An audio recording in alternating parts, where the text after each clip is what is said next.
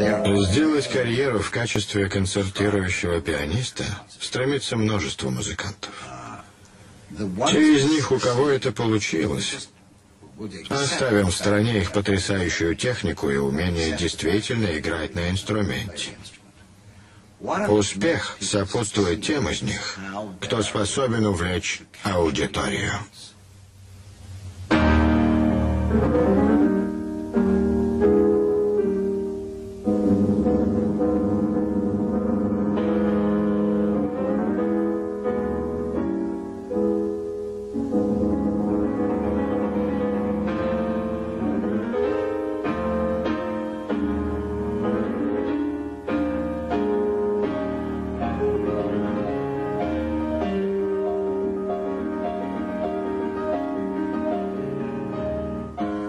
Шопен. Полонез ля бемоль мажор героический. Исполняет Артур Рубинштейн. Запись 1953 года.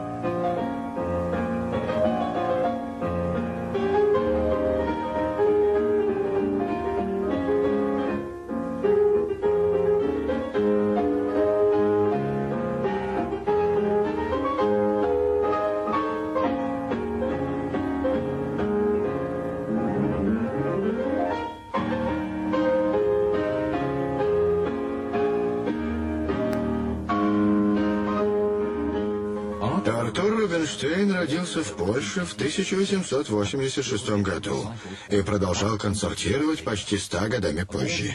Бон Виван, чувствующий себя как дома и в богатых и знаменитых салонах и на концертных сценах, Рубинштейн отчасти придерживался ушедшей традиции, как он сам говорил, не романтизма, а крайней эмоциональности. С самого начала его карьеры критики отмечали как благородство и величавость его игры, так и разнообразие репертуара от Баха до Альбениса и де Фарьи. Но популярность у публики он завоевал благодаря своей любви к выступлениям. В год своего 90-летия он объявил перед концертом, что он самый счастливый человек из всех, кого он встречал.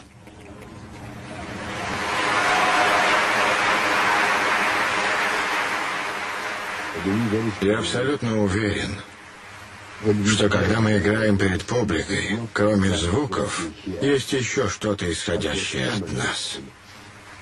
Именно это заставляет людей приходить на концерты, вместо того, чтобы спокойно сидеть дома в тапочках и слушать граммофон. В этом вся разница. На концерте есть личность и есть антенна. Я иногда чувствую среди публики одного единственного человека. Неважно, старик ли это, девушка, женщина или мужчина, не важен ни пол, ни возраст. Но я внезапно ощущаю, что там сидит человек, который слышит меня лучше всех, который все понимает. Это мне очень помогает, потому что я обращаюсь именно к нему. В том, как он исполнял музыку, была какая-то основательность, как бы хребет, рассказывает пианист и дирижер Даниэль Баренбойм. На мой взгляд, здоровье его личности определяло и здоровый характер его игры. В нем не было ничего невротического той связи неврастении и артистизма, что было распространено особенно в первой половине XX века. Другими словами, артистичность есть результат чего-то необычного, что правда, и к тому же ненормального, что неправда. Я иду на концерт всегда с легким сердцебиением. Насколько я готов, как у меня получится. Но эти сомнения, они только к добру, потому что рождают новый подход. Эти чувства передаются публике, делают исполнение живым.